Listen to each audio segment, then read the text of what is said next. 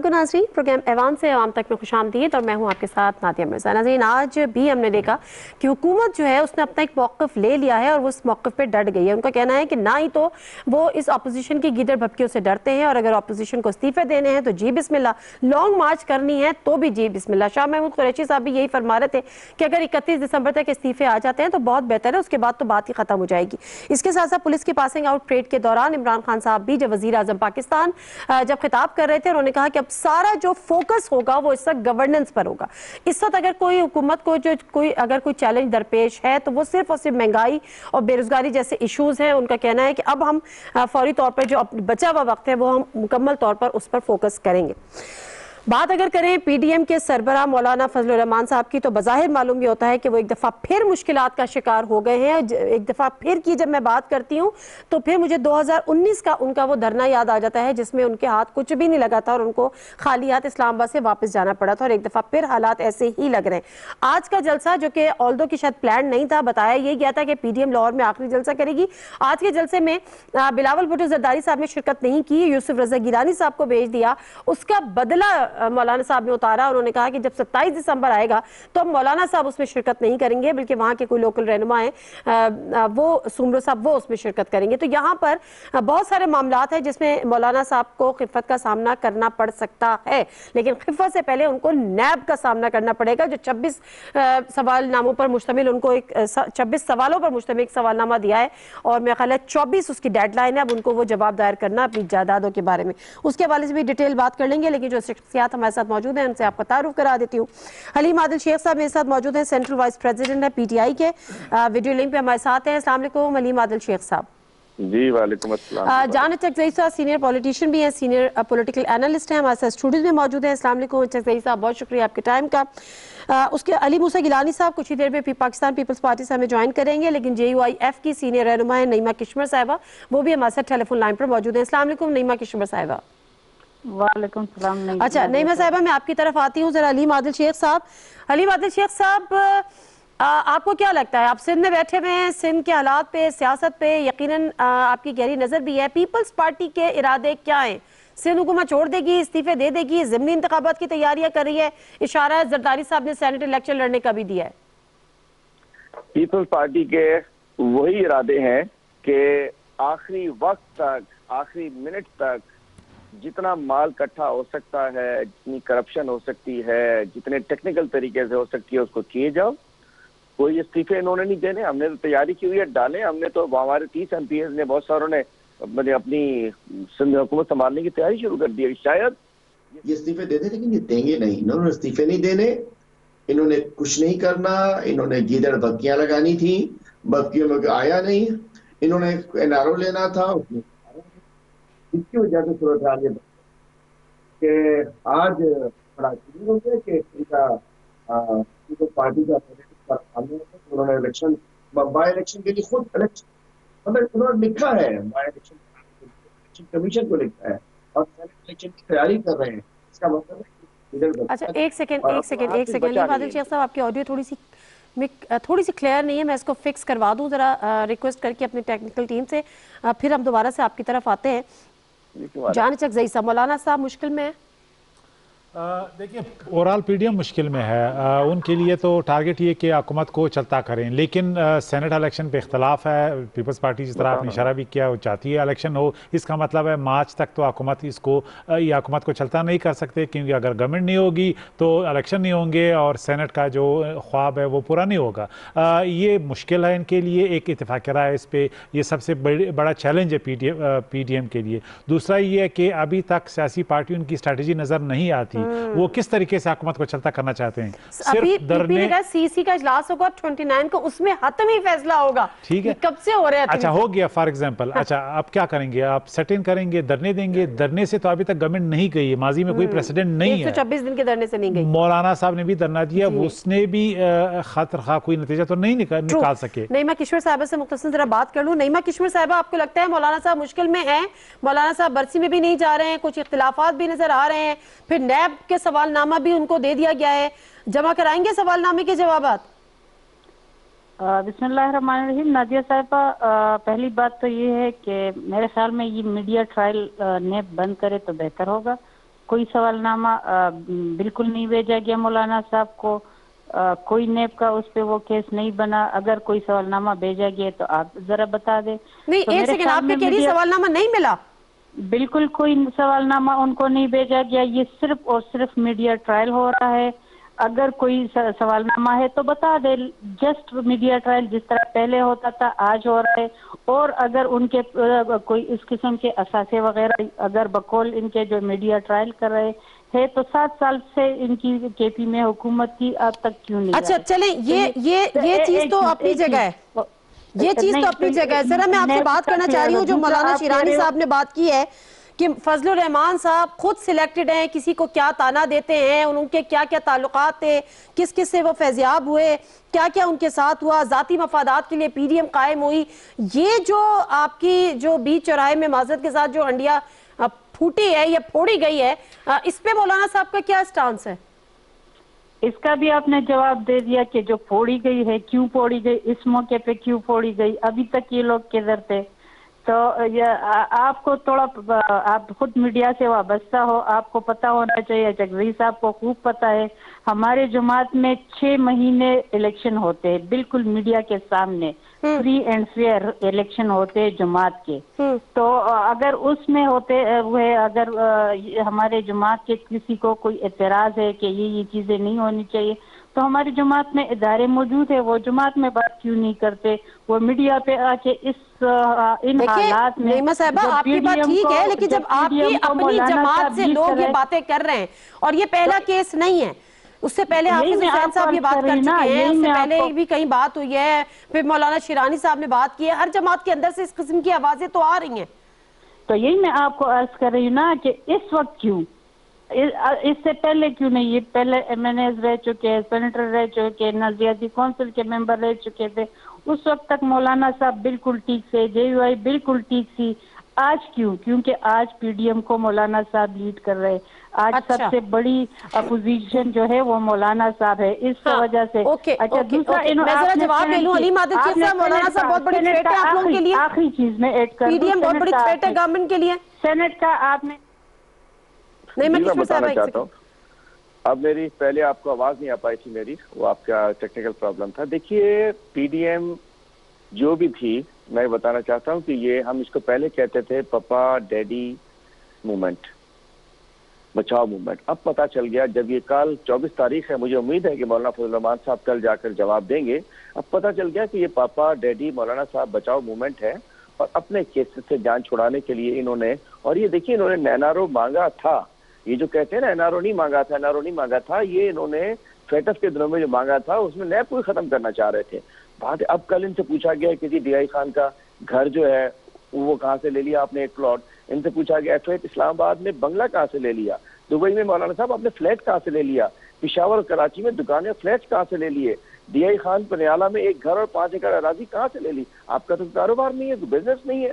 अब्दुल खैल डीआई खान ने एक घर एक मदरसा और पाँच एकड़ ज़मीन उधर भी ले ली। शोरकोट में एक घर मदरसा पाँच एकड़ अराजी हाल और अभी अभी देखिए ये मुझे लगता है कि पीडीएम के लिए जिन्होंने चंदा इकट्ठा किया है बाहर मुल्कों से पाकिस्तान को डिस्टेबलाइज करने के लिए चक शहजाद में अपने दामाद के ज़रिए तीन अरब रुपए की फार्म हाउस की ज़मीन ली है। पूछना चाहते हैं ये अचानक ये नोटों की लेकिन अली मौलाना शेख साहब वो कह रही है कि कोई सवालनामा मिला ही नहीं है नैब का मौलाना साहब को। मैं भिजवा देता हूँ मिल तो गया है, मेरे पास मौजूद है ये सवालनामा है जी। सेकंड कॉल ऑफ़ नोटिस है पहला नहीं सेकंड और ये इन्हें मिला है सेकंड कॉल ऑफ़ नोटिस मैं बताना चाहता हूँ आपको कि मैं अगर इनको नहीं मिला तो मेरे ज़रिए भिजवा दीजिए।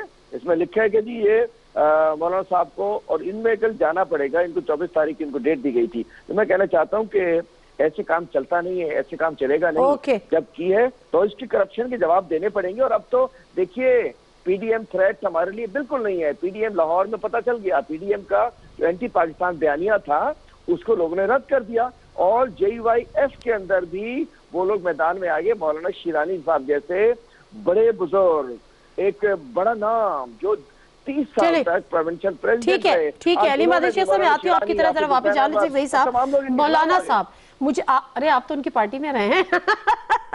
ये तो मैं भूल ही गई थी आपने तो बड़ा टाइम उनके साथ गुजारा है। सोर्स ऑफ़ इनकम क्या है मौलाना साहब का? देखिए मौलाना साहब तो एक सियासतदान है कोई सियासतदान के सोर्स ऑफ़ इनकम नहीं होते वो पार्टी के चंदे होते हैं डोनेशन है। डोनेशंस हैं इसमें पार्टी डोनेशन पे चलते हैं। बिल्कुल पार्टी डोनेशंस है और। मौलाना साहब फॉरेन फंडिंग है। फॉरेन फंडिंग का भी इम्कान रद्द नहीं किया जा सकता। अच्छा। हर सियासी पार्टी के अपने फंडिंग के सोर्सेज होते हैं इन्वेस्टर्स होते हैं उनके पार्टी कारकुन होते हैं उनके बेख्वा होते हैं तो एक पार्टी फंडिंग के बगैर चल ही नहीं सकती। तो आप उसको कहें कि वो वो फंडिंग सिर्फ़ पार्टी के फ़ंक्शन के लिए भी है या लीडर के खराज के लिए भी है वो पार्टी पर डिपेंड करता है। लेकिन एक सिस्टम है हर पार्टी में है इसमें मैं समझता हूँ कि कोई हैरानी की बात नहीं है। जहाँ तक आप इस मीन्स और एंड की बात है ये एक ऐसा सवाल है कि हर आदमी पे नैब इस इस हवाले से कार्रवाई कर सकती है। मिसाल है। उनसे सवाल किया गया कि आप अपने जो आपके वालिद साहब थे उनके मीन्स लाएँ। अब तीस साल पहले उनके रसीदें अगर किसी ने रखी हों तो आप पेश कर सकते हैं। अगर मुझसे आप ये पूछें कि जो मेरे मकान में मेरे वालिद साहब ने छोड़ा है उसका कोई डॉक्यूमेंटेशन है इसका जवाब भी बहुत मुश्किल डॉक्यूमेंटेशन उनका क्या? आप कम से कम ये तो बता देना कि आपके उनके पास कहाँ से आई है जायदादें? क्या विरासत में मिली थी? विरासत की डिटेल देनी है लेकिन वहाँ तो वो कहते हैं जवाब ही नहीं मिला। अली मूसा गिलानी साहब हमारे साथ मौजूद हैं। अस्सलाम वालेकुम अली मूसा गिलानी साहब। अस्सलाम वालेकुम। अच्छा अली मूसा गिलानी साहब आज के जलसे में बिलावल भुट्टो जरदारी नहीं गए थे। पहले से तो पता नहीं ये शेड्यूल जलसा नहीं था अचानक आप लोगों ने बाद में क्योंकि जो पहले जो लाहौर का जलसा था वो पीडीएम के प्लेटफॉर्म का लास्ट जलसा था। बट एनीवेज बिलावल साहब आज तशरीफ़ नहीं लाए। जवाब में मौलाना फजल रहमान साहब ने कहा है कि 27 दिसंबर को मैं भी नहीं आऊँगा। क्यों नहीं आए बिलावल साहब? देखिए मैं एक तो ट्रैवल कर रहा था तो मैंने मुझे मैं फॉलो अप नहीं ले सका इस बात के ऊपर। पर मेरा नहीं ख्याल कि इसमें ये कोई इम्प्रॉम्प्टू प्लान बना होगा, जिसकी वजह से शायद कोई मिस अंडरस्टैंडिंग हुई होगी। एंड आई एम श्योर कि इसके ऊपर हम हल निकाल लेंगे। और ये, इसको इतना बड़ा कोई कॉन्स्परेसी थेरी बनने हमें जाने की ज़रूरत नहीं है कि कि पता नहीं क्या हो जाएगा। मौलाना साहब अगर उन्होंने ये कहा है कि वो को नहीं आएँगे तो मेरा ख्याल है वो आएँगे सताईस को, क्योंकि पीटीएम हम एक एक इट्स बिगर देन दिस ये छोटे जलसों में अगर नहीं आ सके या नहीं कर सके या ये नहीं हो सका चले हम तो किसी कॉन्स्पिरसी थ्योरी में नहीं पढ़ते। अब मुझे ये बताएँ कि सीसी का आपका जो इजलास है वो 29 दिसंबर को है और वो जो एक रिवायत भी रही है आप लोगों की कि 27 दिसंबर को बीबी शहीद की बरसी के बाद वहीं पर डोडेरो में ये इजलास होता है सीसी का। अब उसमें हतमी तौर पर फैसला किया जाएगा कि आया इस्तीफे देने हैं या नहीं देने जी। उस पर उस पर हम लोग हम लोग कंसेंसस बिल्ड करना चाह रहे हैं अपनी पार्टी के अंदर। देखिए, एक पीडीएम पीडीएम के बाद पीपल्स पार्टी भी पीडीएम जो है वो तमाम जमातों का एक मरकज है, जहाँ पर हम सब एक पॉइंट पर इकट्ठे हुए हैं। जो हमारा पॉइंट है कि हमने इस मुल्क को इस नाअहल हुकूमत से छुटकारा दिलवाना है, जो कि जितने वादे जिसने किए वो नहीं पूरे कर सकी। और आज हम डिबेट जो है वो सेनेट की कर रहे हैं, और आप यकीन माने कि सेनेट के अंदर आम आदमी को कोई परवाह नहीं है कि ये शो ऑफ़ हैंड से हो रहा है ये ओपन बैलेट हो रहा है ये सीक्रेट बैलेट है। कौन बन रहा है? किसने क्या लेजिस्लेशन करनी है? उनको दो वक्त की रोटी चाहिए और दो वक्त की आज कमाना मुश्किल हो चुका है इस हुकूमत के अंदर। तो मैं ये कहना चाह रहा हूँ कि हम लोग जो है हम लोगों ने हमने पीपल्स पार्टी जो है उसने अपनी चीज़ चीफ के मीटिंग के अंदर हमने ये इस्तीफों वाली ऑप्शन जो है अली गिलानी साहब मासरत के साथ हुकूमत का या दीगर हलकों का कहना यह है कि पीपल्स पार्टी विकेट के दोनों तरफ़ खेल रही है। जरदारी साहब ने सेनेट इलेक्शन में जाने का मशवरा भी दिया है रबते भी किए हैं बात भी की है। प्लस ये कि आप लोग जिमनी इलेक्शन में भी आप लोग उतर रहे हैं उसके साथ आप रेजिग्नेशन देने की बात भी कर रहे हैं। सिंध हुकूमत आप चला रहे हैं सिंध हुकूमत छोड़ने की भी बात कर रहे हैं। तो लोग कह रहे हैं कि आप आपकी जमात में अभी तक क्लैरिटी नहीं है मौकफ में। देखिए मैं ये बात सारे शोज़ से पहले भी कर चुका हूँ कि पीपल्स पार्टी को आप में से कोई भी पीपल्स पार्टी को पॉलिटिक्स नहीं सिखा सकता। क्योंकि पीपल्स पार्टी ने बहुत सारे लोगों को इस मुल्क के अंदर सियासत सिखाई है और वो चैंपियन ऑफ़ डेमोक्रेसी है पीपल्स पार्टी है। पीपल्स पार्टी की ही नर्सरी पे तमाम जितने भी आज आइन और कानून के दानिश्वर बैठे हुए हैं और जो पार्लियामेंटेरियंस बैठे हैं, वो पीपल्स पार्टी की ही नर्सरी से निकले हैं। तो पीपल्स पार्टी को नहीं चाहिए कि कौन सी ऑप्शन कब इस्तेमाल करनी है, क्योंकि हमें ये बेहतर पता है कि हमने कौन सी ऑप्शन कब इस्तेमाल करनी है। जहाँ पर बात हो रही है सेनेट के इलेक्शन की। हमने कहीं ये नहीं कहा था कि सेनेट का इलेक्शन जो है वो हमने नहीं करवाना। या हम सेनेट का इलेक्शन रोकना चाहते हैं या हम सेनेट में नहीं जाना चाहते। पीपल्स पार्टी पार्लियामान की तो के तकदस की तो सबसे पहले बात करती है। हम इधर इस एक फर्द वाहिद जिसकी हुकूमत है जो कि एन आर में लेकर हुकूमत में आया हुआ है हम उससे अवाम का अवाम ने हमें अब अवाम ने अच्छा। हमें मैंडेट दिया है कि आप इससे हमारी जान छुड़वाएँ जिसकी वजह से हम ये लॉन्ग मार्च अच्छा, अच्छा, एक सेकेंड। हो ओके एक सेकेंड एक सेकेंड। अली मादिर शेख साहब क्या मतलब आपने इससे क्या अक्स किया है? पीपल्स पार्टी की सियासत बहुत पुरानी है किसी को नहीं पता। पीपल्स पार्टी ने लोगों को सियासत सिखाई है नहीं पता बिल्कुल सही बात है। अ, बड़े मंजे हुए सियासतदान है। सेनेट का इलेक्शन सबुटाज करना ही नहीं चाहते लेकिन सेनेट के इलेक्शन से पहले निकलना भी चाहते हैं।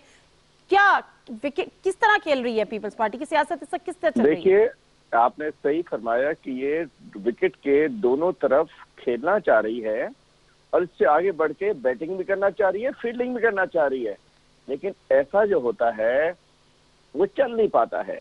इन्होंने खत लिखे हैं।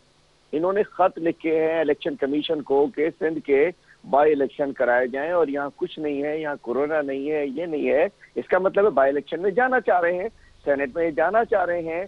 और अब ये देखिएगा इस तरह और दूसरी जाने सत्ताईस दिसंबर को जलसा कर रहे हैं। हम्म। और यहाँ कोरोना बढ़ता जा रहा है। देखिए पीपल्स पार्टी ये तमाम पीडीएम मैं समझता हूँ इन्हें अपनी चौकड़ी भूल चुके हैं। इनके पास कुछ बचा नहीं है। मुल्तान में शोर शराबा करके जी पकड़ हो गई दकड़ हो गई ये हो गया।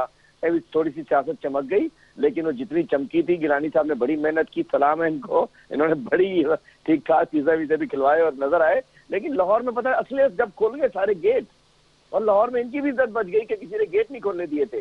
पीपल पार्टी की सियासत, वो पार्टी जो कि जिसका लाहौर में जिसको बुनियाद रखी गई हो, उसके बाद वो पंजाब की चारों सूबों की पार्टी हो, फिर चारों की, सूबों की जंजीर कहा जा रहा हो, आज वो लाहौर में 500 बंदा भी उनके पास नहीं है, और उसके बाद हर मामके सिंध को बुला लेते हैं मुल्तान के अंदर उनके पास जलसा नहीं भर सकते थे।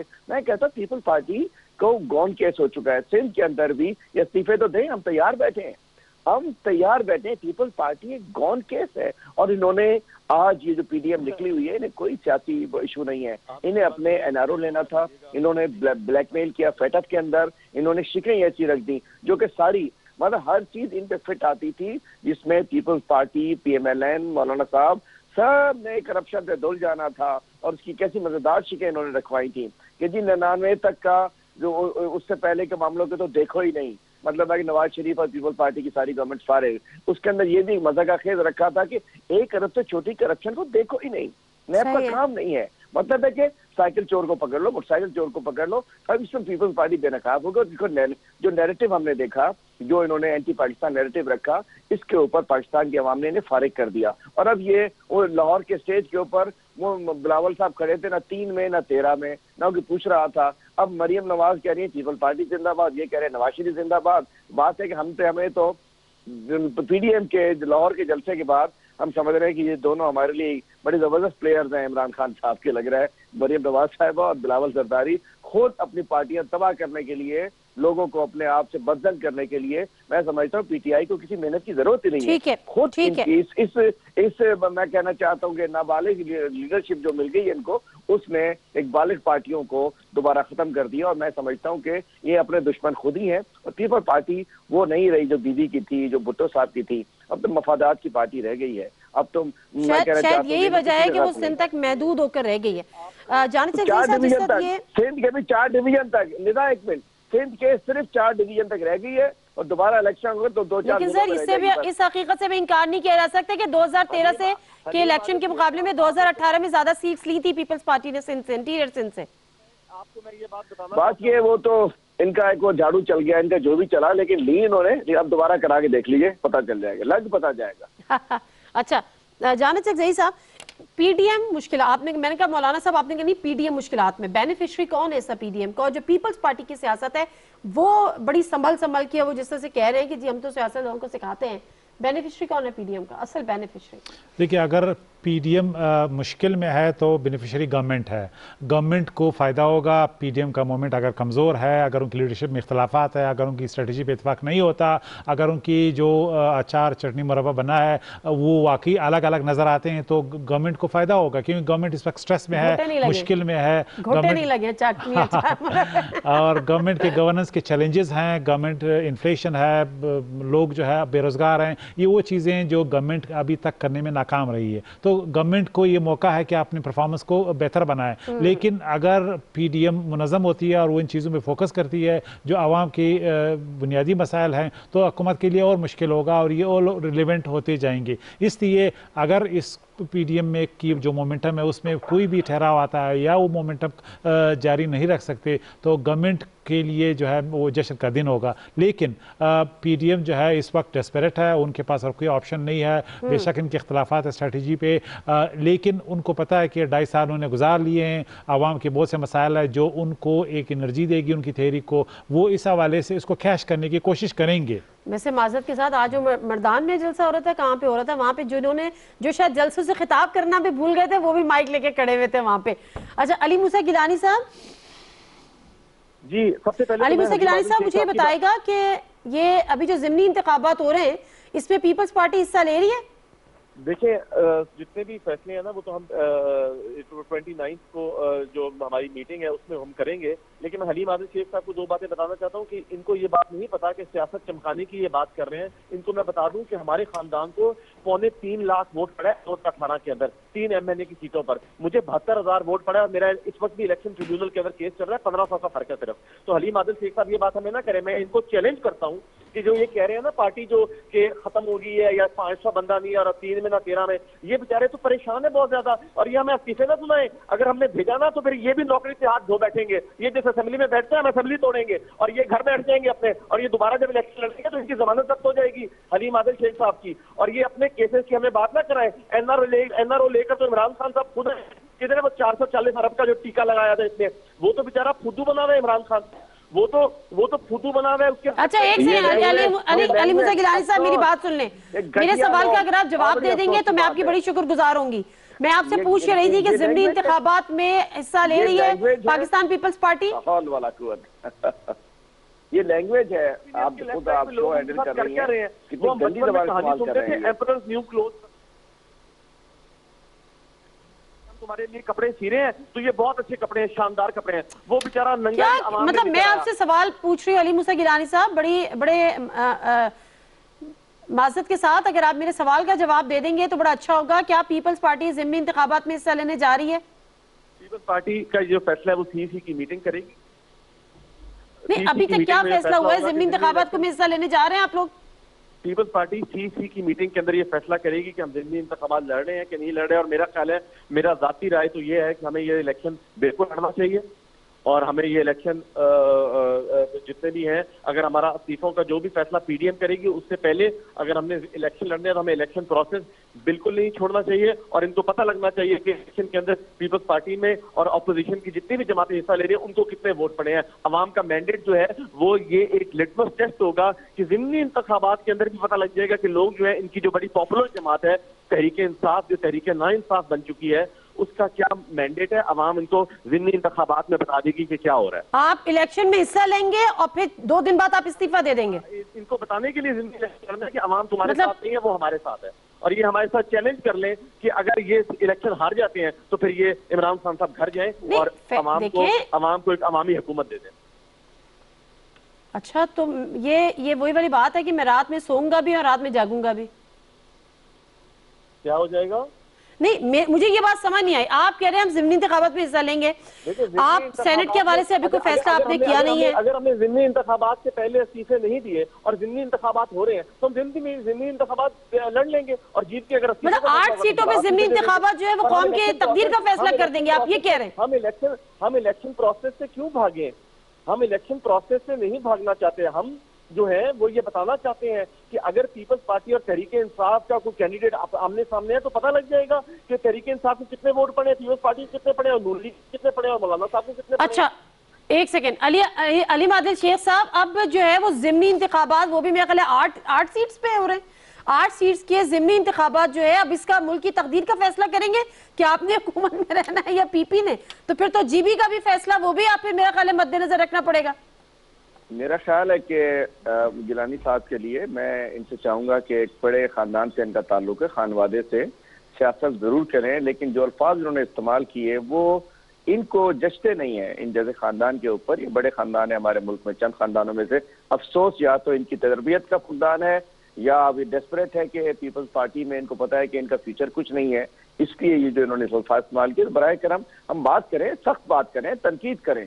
लेकिन अगर हम वो तमीज के दायरे में रहेंगे तो हम सबके लिए बेहतर होगा। मैं कहूँ जो फार्मूला गिलानी साहब ने फरमाया, उसका तो हल हो गया ना। उस फार्मूले के तहत तो इनको घर बैठ जाना चाहिए। जीबी में जहाँ बुलावल भुट्टो साहब को बेचारों को इन्होंने इतने अरसे ख्वार की आवाज़ हर रोज एक पहाड़ी पर खड़ा कर देते थे, वो कहीं, कभी कहीं कभी कहीं, वो टोपी लगाई हुई है, कहीं जैकेट पहनी है सर्दी में। और वहाँ निकला क्या? कोदा पहाड़, निकला चूहा।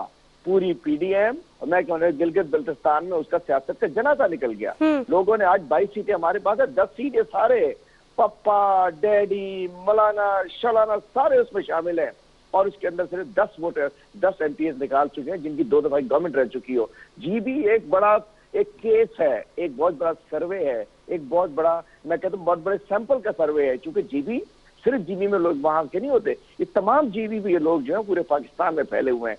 स्टूडेंट्स हैं नौकरियाँ करते हैं पूरे पाकिस्तान में फोर्सेज में हैं बड़े लिखे लोग भी हैं बाहर भी हैं ओवरसीज भी है। नहीं तो वो ठीक है वो ठीक है अली मादिर शेख साहब अली मूसा गिलानी साहब का कहना ये है कि जिमनी इंतखाबात में अगर पीपल्स पार्टी को ज़्यादा वोट मिल जाते हैं या पीडीएम जीत जाती है तो फिर ये समझ ले कि जी एक लिटमस टेस्ट हो जाएगा ये।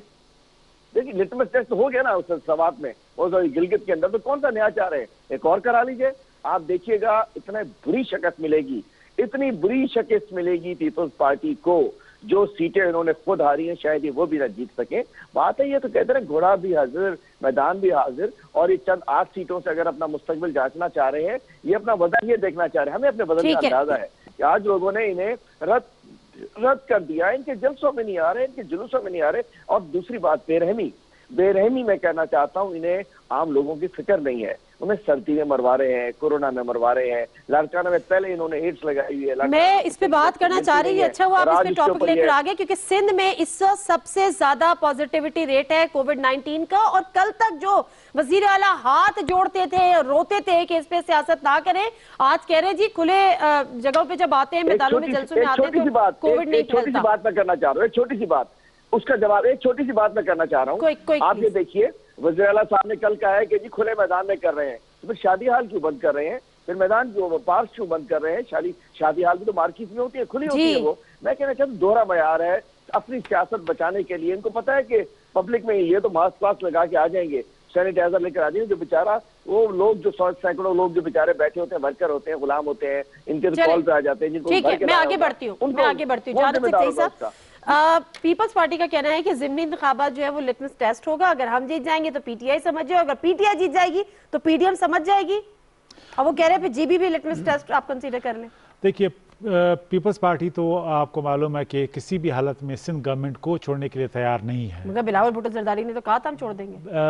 क्यों छोड़ेंगे? उनके पास गवर्नमेंट है उनके अभी सेनेट में तकरीबन कम अज़ कम आठ सीट आने वाले हैं। उनका deputy opposition opposition leader senate में आ रहा है तो वो क्यों कर छोड़ेंगे? एक चीज़ जो आपके पास है वो आप रखेंगे जो नहीं है उसके लिए एक ही चीज़ है। ठीक है तो पूरा सुबह उनके पास है वो कराची के मालिक है ना सुबह की सियासत तो पीपल्स पार्टी है सिंध में हम्म, पंजाब हम्म। में तो नहीं है न केपी में न तो वो तो रखना है उन्होंने। आप उन्होंने बिलावल भुट्टो ने बनना है ना कि अपने सुबह को हैंड ओवर कर देना मौलाना फजल रहमान की भी यही चाहत है मरीम नवाज़ की भी यही चाहत है। जान भाई एक बता दें जरा ये जो स्टेज पे होते हैं ना वजी कौन कौन से हैं? ये तो बताइए जान भाई। आप जरा माशाल्लाह देखिए इस वक्त तो मेरे ख्याल में पीडीएम में दो कैंडिडेट्स हैं जिनका मुकाबला है। मरियम बनेगी या बिलावल बनेगा तो बाकी जो है वो बाकी जो है वो उदय बहुत है सरबरा को माइनस कर दिया बड़ी ज़्यादा है। तो पोटेंशियली तो चांस बन सकते हैं। लेकिन लेकिन जिमनी इंतबात में जब इलेक्शन आप कॉन्टेस्ट करने जा रही है पीपल्स पार्टी कह रही है और बाहिर लगता भी है कोई नहीं छोड़ता।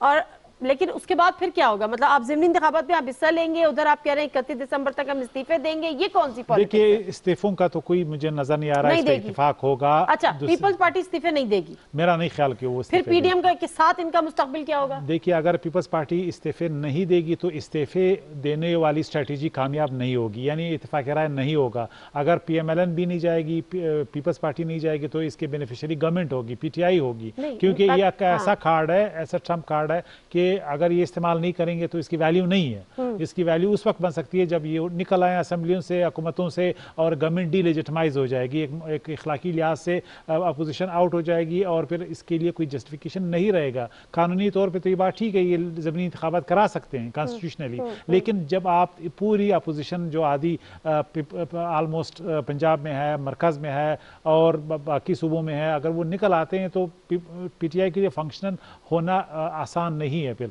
लेकिन शायद नज़र ये आ रहा है कि पी डी एम आवाम के ज़रिए फोर्स यानी रेस करके फिर इस्लामाबाद में लाग मार्च और इसी तरह हुकूमत को क्रिपल करना चाहती है ताकि इन पर प्रेशर बढ़ाए। तो माइनस इस्तीफ़े बाकी टैक्टिक्स इनके पास हैं। मेरा सिर्फ़ क्वेश्चन ये था कि अगर ये हो जाता है पीपल्स पार्टी पीछे हट जाती है कि हम तो रिजिग्नेशन नहीं दे रहे। पीडीएम का मुस्तकबिल पीपल्स पार्टी के साथ क्या होगा फिर? देखिए पीडीएम चलेगी? देखिए पीडीएम तो चलेगी ना पीपल्स पार्टी पीपल्स पार्टी दोनों तरफ़ कोशिश करेगी कि खेलेगी। पीपल्स पार्टी बिल्कुल पीडीएम से भी अलग नहीं होना चाहती क्योंकि पीडीएम के खंदे को इस्तेमाल कर रही है। ओके। अच्छा बड़ी आज भी जो जलसे हुए उसमें दोबारा से एक दफ़ा बात हुई कि जो शो ऑफ़ हैंड्स वाला जो आज रेफरेंस भी दायर कर दिया है गवर्नमेंट ने सुप्रीम कोर्ट पे कि उनकी रोशनी में उनको एक व्यू चाहिए कि आप ये किस तरह से हो सकता है आउट ऑफ़ बैलेट जो सेनेट के इलेक्शंस क्या पीपल्स पार्टी हुकूमत की तजवीज़ में उसके साथ खड़ी है? क्योंकि इससे करप्शन का खात्मा होगा इसमें जो हॉर्स ट्रेडिंग होती है उसका खात्मा होगा। साफ़ और शफाफ इलेक्शन हो जाएँगे। करप्शन नहीं होगी पैसा नहीं चलेगा। अली मुसा गिलानी साहब।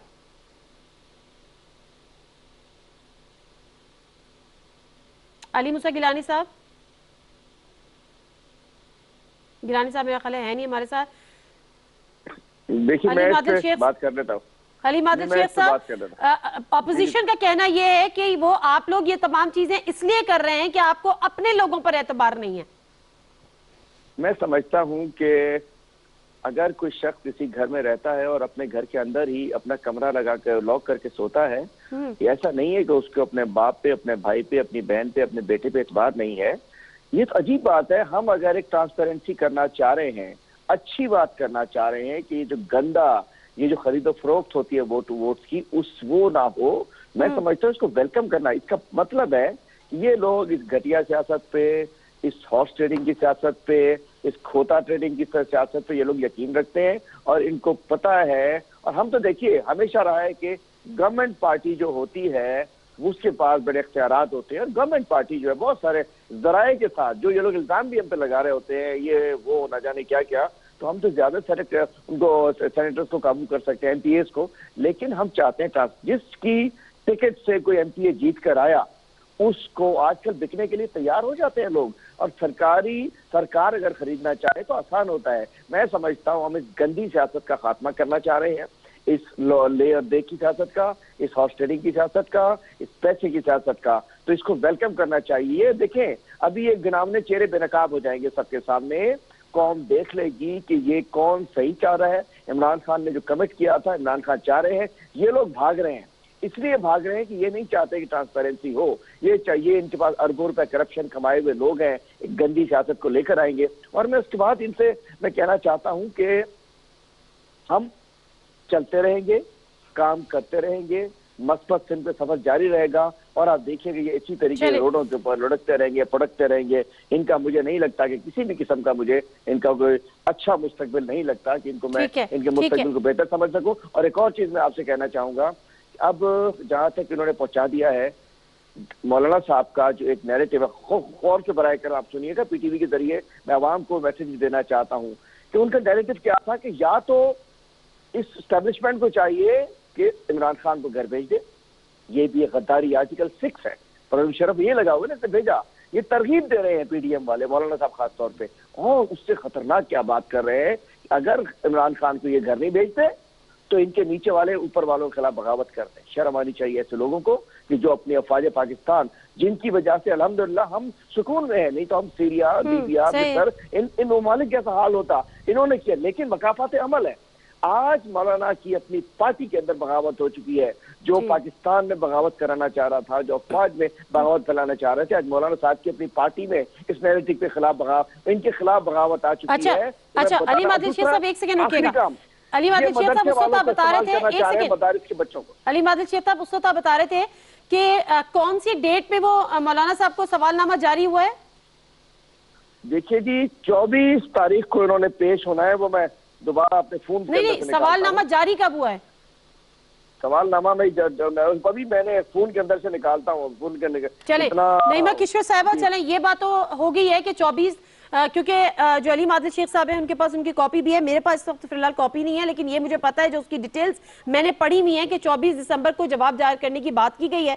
अब वो मिला नहीं मिला वो फिर नहीं होगा तो फिर आगे क्या होगा इस इस बहस को अभी छोड़ देते हैं।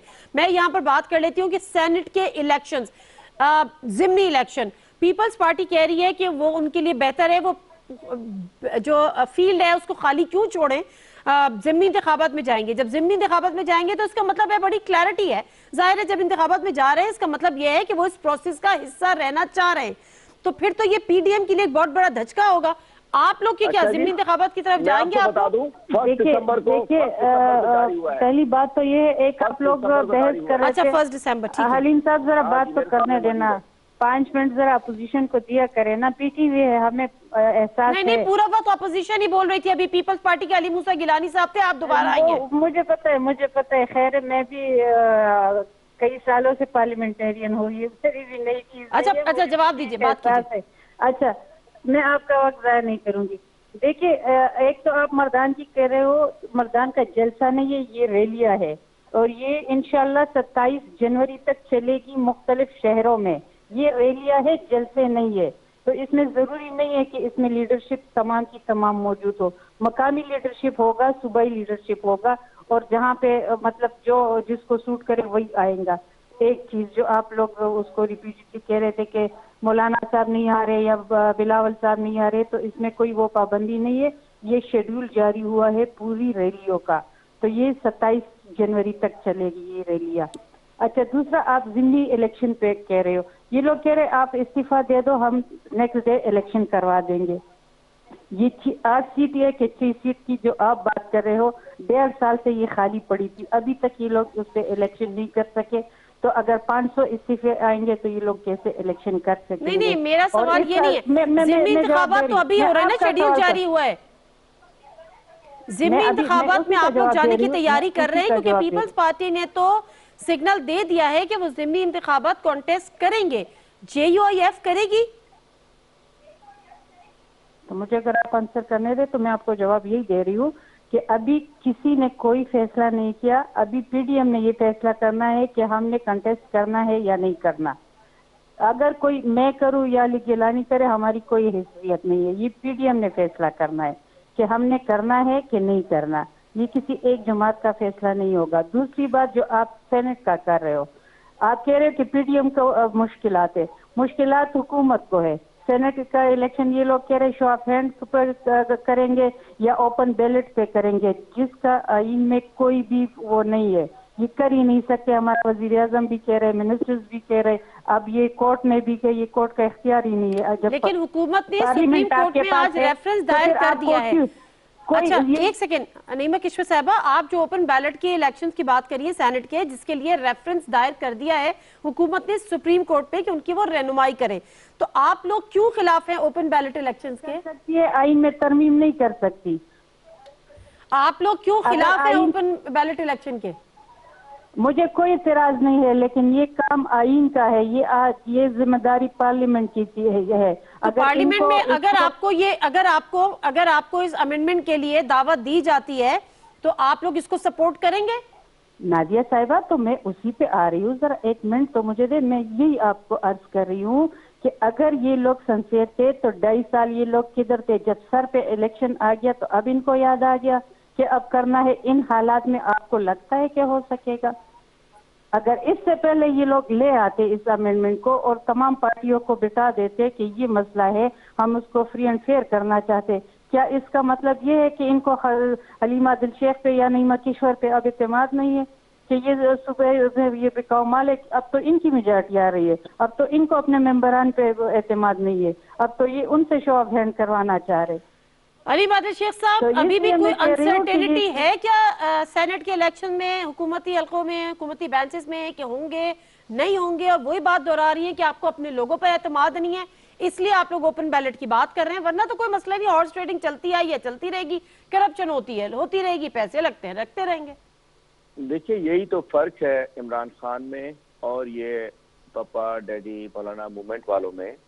कि ये लोग चाहते हैं स्टेटस को चलता रहे करप्शन चलती रहे हाउस ट्रेडिंग चलती रहे, कोई तब्दीली ना आए।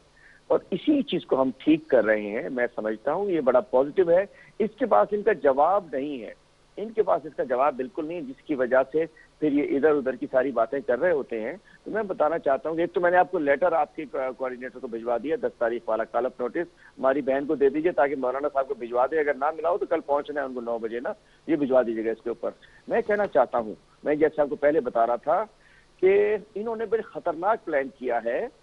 अवाम ने इन्हें माफ़ी कर दिया मदारस के बच्चों को, मदारस के इस को तालब इलमों को ये ज़बरदस्ती उठाकर लाएँगे। एक तो कोरोना फैलाने का बाइस बन रहे हैं। दूसरा, हमें पता है, खुदा ने खासा ये जो खून खराबा करना चाहते हैं। मैं लाजमी बात चल रही है। मेरा हल्का भी ऐसा है कि जहाँ ये उनको लाकर, खुदा न खासा उन्हें ईंधन के तौर पर इस्तेमाल करना चाह रहे हैं, अपनी तहरीक के लिए तो मैं कहना चाहता हूँ, रहम कीजिए मौलाना साहिब, ये बच्चे, गरीब के बच्चे हैं, ये वो लोग हैं जो सियासत करने इनको नहीं भिजवाते, उन्हें तालीम के लिए भिजवाते हैं, उन्हें इल्म के लिए भिजवाते हैं, कुरान के लिए भिजवाते हैं, हदीस के लिए भिजवाते हैं, तालब इल्म हो या इस कराम हो, उनको लाजी बात है, उनका उस्ताद मोहतरम ने अगर को हुक्म दिया तो आते हैं। इनको इस्तेमाल ना कीजिए, बुलाइए अपने वर्कर्स को, बुला, जिसको दिल करे लेकर आए। आपको कंटेनर भी देंगे आपको ठंडी हवा खुद ही खुद वहाँ मिल जाएगी। आइए लेकिन मदारिस और तलबा और कराम को लाना एक क्राइम है एक जुर्म है। मैं समझता हूँ कि समझ मैं बताना चाह रहा हूँ कि ये खुदा ना खास्ता ये कुछ गंदा खेल खेलना चाह रहे हैं। इस्लामाबाद में बच्चों को लाकर ये रिकॉर्ड पे रखिएगा।